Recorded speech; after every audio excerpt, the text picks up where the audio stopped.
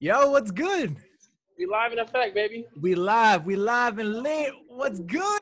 It's your boy Bennett Knows, and I got a special guest, pro athlete, gone artist, uh, face Facts. creative capital, my hometown, our hometown, PVD, Providence, Rhode Island, the Providence product, applying pressure every single day, forever. My boy Dee Gomes, what's poppin', What's going bro? on, man? What's going on? Yo, bad, give me a second. I'm about to get in this uh in this car. We out here in Miami right now. Hold on, two seconds, bro. nah, you good? I hear you're making moves. I hear you got a music video. Yeah, yes, sir. Actually, not for me. Actually, for my artist Lynx. So Jae? Oh, my bad, bro. I'm all over the place right now. I left the keys inside this BK. nah, yeah, good. Go get your keys.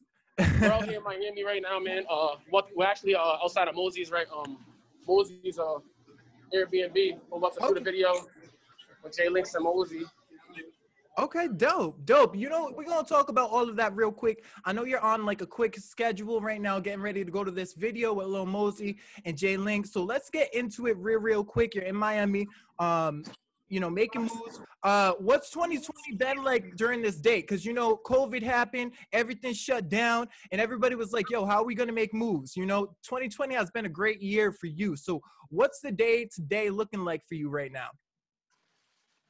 It's honestly crazy. It's like we've been like all over the place. Um, as far as you know, my artistry, and you know, I got my artist links. I got my artist for Sandra. I got the label. So one minute I'm doing my own thing for myself, and the next minute I'm traveling for him, and the next minute I'm traveling to LA for Sandra. You know, a lot's going on right now behind the scenes that I can't even speak of, just because the place is getting put together still. But a lot is going on right now, and it's just a blessing to be a part of something so bigger than myself.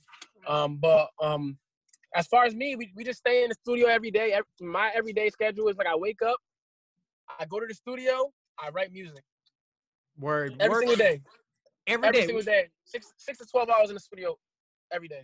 Wow, wow. I mean, you've had a lot of releases this year. Love Pain, Moonwalking, Falling for You. Before we get into your artists, uh, what are these singles leading up to? Are you working towards a, a your third project, or are these just like releases to keep the buzz and promotion going? Yeah, so I was kind of keeping on the hush, but I, um, I'm actually gonna get back into the tradition and drop a, a project on my birthday, December 9th. Okay. Um, so I, I'm thinking about dropping another project on my birthday this year. I took off last year. I didn't drop a project, but this year I feel like everyone been asking for it, and I got a lot of crazy unreleased records that I'm ready to put together on a project. Uh, actually, my uh, one of my close, one of my best friends, uh, David Duke, uh, one of the best uh, college basketball players in the country. He's gonna be executive producing an album. Dope, dope. So uh, December 9th, that makes you a Sagittarius? Yes, sir. Sad Okay, okay, this swaggy, a little swaggy. Okay, so you got the, Yeah. uh, you know, we have 1209, the birth, True Colors, the introduction. What would this third project be? What is it going to represent? it's gonna it's, it's, it's gonna represent like who I am as a person. So basically, the theme will be athlete turn artist. So it's gonna really kind of explain my story, who I am, what I've been through, what I've been through, and why I am where I why I am where I am now. Because a lot of people don't like didn't see it coming this place. Like I was supposed to be in college playing basketball, Right. being a professional wrestling player. So again, I had Division One like interest and offers. I went to Division One JUCO in Chicago. You know, I you know it's just it's crazy how life brought me here. I never thought I'd be a, I never thought I'd be a musician. Now you're ma- and not only a musician, you're managing managing artists, making those connections. Um, right now, you know, before we get into Jae Lynx, because I really want to talk about I talk about him because you know I'm in Seattle right now. You know that's my stomping ground, but I'm from PVD, so I got super excited when I heard about the success there. But real quick, right now the single with Hennessy is out, Double Back. The video's dope. You know I know Hennessy personally. She's a really really dope creative. Right now, PVD has everything it needs. It has the artists, the big names. It has the fan bases. It has uh, platforms where people and creatives uh, to execute their vision. You know what I'm saying? How does it feel to be the face of that movement? And if I had to ask you, why hasn't PVD blown up? You know, we've always had all of these parts, but why haven't we blown up in the mainstream hip hop scene? Because we, we we just we just hitting the surface. I feel like everyone before us like kind of like set the tone. You got like a lot of a lot of music influence people in Rhode Island now. You know, I, I like I learned a lot. For example, I, I you know Mike Slick, Mike Slick, someone who I learned a lot from. Mm-hmm. Um, just being in the studio. As far as music, like you know, he just kept me in the studio. Um, Cam Bells, Cam Bells is like a big bro to me. Cam Bells taught me a lot. Right. You know, he kind of got me into like the live band stuff, just soaking in knowledge from him. Um, who else can I think of? You know, that was doing it before me. Key, Key is a close friend from my neighborhood that was making music when I was playing basketball. I used to just watch him with the music, and I was in. I was just like, wow, someone from my neighborhood's really doing this music stuff and really can blow up. That was the first person I seen from Rhode Island. I was like, wow, this kid can really blow up. That was before I was even thinking about being a musician. Um, it's just so many like elements to the story that people don't see. Like you won't see it now, but it's it plays a pivotal role in the success. You know what I mean? Like a lot of people like that. It's crazy because you know that's why I feel like being self-made is saying you're self-made is overrated. You know what I mean? Because if we're being honest, like it's like everyone, even people you don't think played a role, played a role, played a role. You feel me? So Absolutely. I like to just I like to just give people their flowers while they're here and just appreciate everyone's position they played in my life because I know I'm a star. Like I, I doesn't take away anything from me giving other people credit. You know what I mean? Right. So You know, I and it's, think right now, it's so every I'm- piece of energy, every piece of energy that everybody's given to you and to, put towards that. It's everyone. It's like not even just the people you work with directly. It's like the supporters, that one person that had that conversation with you. It's everybody. a hundred percent, and that's why I feel like even someone like a Henny, like Henny's so dope because you know Henny's just she's so positive and she just gives off s- s- like good energy to the point where it's like it's hard to be negative when you're around her and That's why even creating the uh, double back song where it was so fun for me because it was like it was all about the music and it was all about just enjoying it, enjoying the moment. We enjoyed shooting the video, we enjoyed the release, we enjoyed how people soaked it in, you know, and that that was dope. Like that was that was dope for me. You know what I mean? Definitely, definitely. Let's talk about Jae Lynx. You know, you got applying pressure forever, and this is like part of it. You know, not only you know making moves for yourself, but also being able to pass that down and help other artists. And you know, everybody moves with this vision. Now, when I heard about Jae Lynx, uh, Seattle is going crazy. You know, Lil Mosey is straight out of Seattle. Um, You see what I'm wearing? You, you, you see my shirt, man? yeah, I see the shirt. We we know what's good. We see we see it. Hey, man. We all what's good. We see the What's chain. up, man? Congratulations, man. Congratulations. Appreciate you, man. Thank of you. Of course, of course. Did Lil Lil Mosey reach out to you guys? Like, yo, what's good? Like, I seen I seen the product. Like, I want to sign the artist, or how did that happen? Cause you know, like, man, you know how it is in Rhode Island. Like, you already know what the grind is. You know, stuff like this doesn't happen. So for it to happen so genuinely and so quickly during 2020, you feel me? How like literally how did that happen? So we was in LA. over here too. we was in LA with my other artist, and we was focusing on her a lot because she had a lot going on. And um, we kind of just thought, all right, who would who we, we made a record called Soul Slide, and this record's fired. Like, I can't wait for the world to hear it. But um, he was like, yo, little Mosey with some fire on this, and we had a rental plug. We had a uh, oh man, what's his name? The one who gave us the Bentley and stuff? Yeah. I don't remember.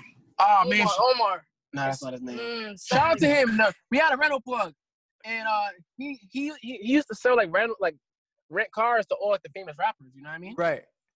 So we're like, yo, we need to get in touch with this dude. He's like, yo, I know his people. It's like I can hit him up for a feature for you guys.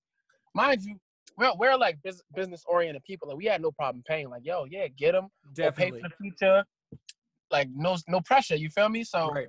from there, he ended up showing uh, one of Mosey's A&Rs and one of Mosey's like people that work on the Mosey's label, Stella, shout out to Stella for making this happen, showed her Lynx. And Stella showed uh Mosey Lynx, like, yo, this kid wants to feature. And Mosey was like, feature? Screw a feature. Like, I want to sign this kid. to This is sign him. superstar.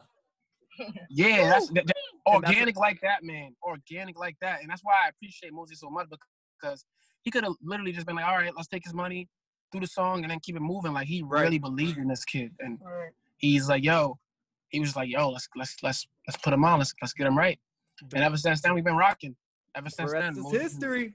The rest is history all the way to the video shoot right now. What's up? Yeah, exactly. It's Yes, I, it's ironic that we're we're in Miami.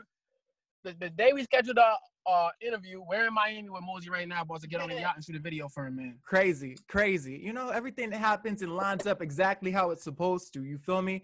Um, Right. Jae Lynx, we're looking forward to music from from you. You know, we'll, we'll get to know you when you guys are when you guys are in Seattle. Make sure you guys stop by the studio and say For what's up. You feel me? Because Seattle wants to know who Jae Lynx is for sure. Definitely. Definitely. I got you. Um, applying pressure forever. That's the name of the label. Or it's a management company, independent, full service management. Um, what's the importance of this brand? And tell me a little bit about what's coming out of this uh, this group in 2020. And then I have a couple more questions before this shoot. So basically, the, the whole the whole um idea with applying pressure forever was it was to bring a collective of people to get together and just feed off each other's energy. So if you can, if, if I can feed off of you, you can feed off of me. We just will make each other better. So the the group is based off all my best friends. So Mm-hmm. my cousins, my best friends, were all athletes. So he's like, yo, how can we take an athlete's standpoint on life and put it in the music? And it's like pressure, like, yo, like when you're playing sports, it's like, yo, you might be up 30, and it's like, yo, you don't your coach gonna tell you don't take your foot off their necks. Like, let's- Right. let's, go up 60, let's go up 100. So the idea was, yo, no matter how good we're doing, no, no matter how much buzz we get, no, no matter how much highlight moments we have, we want to keep working at the bottom of the I back. mean- People was asking why you got signed. Why you- Yeah, people was asking me like, why you signing that little kid? Like, what do you see in him? Even with my female artist, Rasandra, they was like, yo, she sings too nasally. I don't really hear what you hear. To be honest, it's like a lot of people didn't believe. I'll be honest. we got her in the situation too. Yeah, like a lot. I'll be honest. Like a lot of people didn't believe. Like so. Hey, well, all it takes is one person to believe, you know, and then that one person that believes turns everybody else into believers. Um, one thing you always talk about is your connection with your fans and having a purpose. Um, tell me what you've learned uh, through the highs and lows of your journey thus far, and something you want to pass down to your fans in this moment. what I would want to pass down to my fans is set goals. Like sit in your room and set goals. Like, okay, this is what I want to achieve this month. This is what I want to achieve this week, and never stop doing that. And start. It, it can start little. It doesn't have to be big, big goals. It could be something so little. Like, okay, this week I'm gonna get to the studio th- three times a week. Next month it might be okay. I'm gonna drop a song this this uh this month. Next goal might be okay. I'm gonna raise two hundred dollars to put behind promotion for this song. When you can set goals like that Right. over and over again, it gets so much easier because you're just like, all right, bet I did this, now I can do that, and it, it just keeps building. Like one thing with me is I always set high goals for myself, and it started from a very small goal. Like the goal from the jump was just to make a song, Right. and now it's like, okay, I want to be Jay, I want to be like Jay Z, I want to be like Drake, I want to be. That was never the goal at first, you know what I mean? Right. It was It it evolves. grew, and I feel like with Rhode Island, I feel like with Rhode Island, it's like people get so caught up in the okay, I'm going to base my success off of being better than the next person. Right. It's Right. not. I feel like that's been the problem with Rhode Island, where it's not. I want to be the biggest artist in the world. I want to impact the world. It's like I want more likes than the next person rapping. I want more shares than the next person rapping. I want more views. If I can do that, I'm a suc- I'm a success story, and that's not the case. Like with me, that never was the case. I never compare my success to the next person in Rhode Island because I want everyone to win, genuinely. And um, you know, I just I, I really I really just want to see everyone win. So I always base my success off the people I was inspired by. So if that's Drake or if that's that person, I'll study them. I'll study them and I'll I I appreciate I'd appreciate their work, you know what I mean, and, and try to learn from it and, and grow from it. So I feel like right now that's where we're at right now, and I feel like next by next year Rhode Island will be on like I know like I know No. I'm gonna play a pivotal role in that and putting Rhode Island on the map. Absolutely. You guys are I'm gonna change it. I'm gonna change the culture. I'm gonna change the culture back home forever. Sure. Good shit. That's what we like to hear. Real quick, before the ball drops this year, you got a lot going on. You know, you're tying some ends, working on some projects. What's one personal and professional goal that you want to achieve? And you'd like, um, you know, when it comes to your fans to really, really support you in making that happen. That's a good question. Um, man, the only goal, the, the only goal I have for myself is honestly just make make sure the, the the body of art like is perfected. Like if I can perfect my craft and make sure the music's good, I really don't. crave like being the biggest like I want yeah, I just want to I want to be impactful. Like I want to impact people. I don't really Mhm. think too much about oh having the number one record in the world or Right. stuff like that. Like the mu- my music That's temporary. yeah, my music's gonna speak for itself. So my goal would just be for my artists to stay in like just honestly stay on me like and stay in like one thing about my core fan base is like they're very interactive with me. Like I, I speak to them on a, a lot. Like I go live with them. I speak to them in the DMs.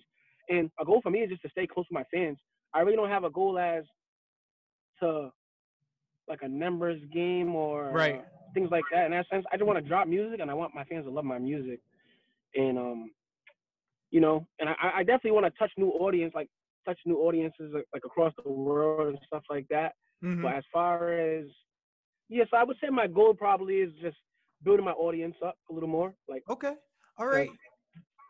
You know what they say success? Yeah. Like everyone right now, everyone's uh, you know, they define their success by what they see on social media. People are talking about Birkins and all this crazy stuff, but really what you're saying is so, success starts from within. You know, it starts from within your personal goals, what you want to do, and all that fame, the numbers, the records, that stuff follows. Success uh, is Great, yeah, that's byproduct great. of hard work.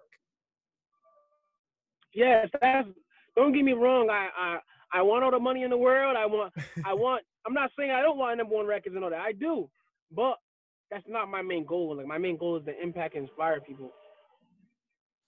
I Like, hear- I feel that's my purpose here. Like it's just to inspire people, and that's why I started my own label. Like if it was all about myself, I would have just kept pushing myself. Like I had uh lab- I had label deals on the table before Right. 2017, 2018. If it was all about myself, I would have just focused on myself. But my main thing was, yo, I know it's I know it's bigger than I know it's bigger than me. You know what I mean? So I just wanted to impact and inspire other people, really, man. And before you guys get out of here, tell us about the video you're about to shoot. UJ Lynx, Lil Mosey, what's going on? Look at Mosey right here. This is Mosey right here. What what what, him? what Lil Mosey pulling up in? And that drop top rolls. Drop man. top In rolls, the drop top roll? And the drop top Please. Yeah, Ah, man. Well, let me see if I can turn this. I can't turn the screen for you. Could I? Yes, I could. You did, you did. You showed up. You showed um. wearing a hat I was uh. unaware, my nigga. Tell Lil Mosey KUBE 93.3 so what's good. He'll be like, what? what? Oh, you KUBE? know who that is? He'll know KUBE 100%. 100. percent Yeah, they're lit. They're they're lit. Uh, Wow. as far as you were saying, um, we're shooting uh Bad Girl Vibes produced by Internet Money. Okay. With internet money? It's, pro- it's produced by Internet Money. Yep. Okay. Word. And this is your track or vice versa? It's mine. Oh, okay. Good, good shit. All right, all right. Well, we're looking forward to that. That last video looked like you had a lot of fun. Sorry, you know that. A lot of For sure. controversy in that video too. For sure. yeah. It looks like you had a lot of fun. Well, you guys be safe. You know what I'm saying? Keep on working hard. Keep on applying that pressure. You feel me? Appreciate you, man. You already know. It's nice to meet you. And um, Gomes, yo, so nice to chop it up when you drop this uh this tape on um the 9th. Let's really dive into it because I have a lot of questions that I wanted to, you know, I want to learn more about you. But you know, you got some moves to make. You got to shoot this video. So we'll catch up another Yo, time. man, no, I, I really enjoy enjoy chopping it up with you, man. I would love to uh hop hop on here again when I like you know maybe when I when I got some more free time and stuff like that. But I definitely, want to exchange them exchange contacts with you so we can uh chop it up.